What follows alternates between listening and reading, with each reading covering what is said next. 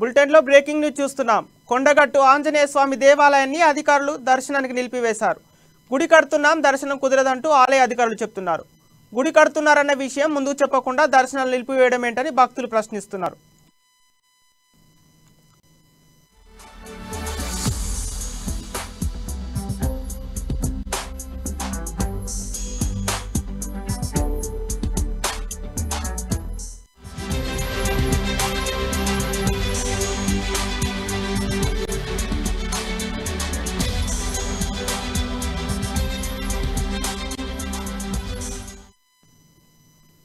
కొండగట్టు ఆంజనేయ స్వామి దేవాలయాన్ని అధికారులకు దర్శనాన్ని నిలిపివేశారు. గుడి కడుతున్నాం దర్శనం కుదరదంటూ ఆలయ అధికారులు చెప్తున్నారు.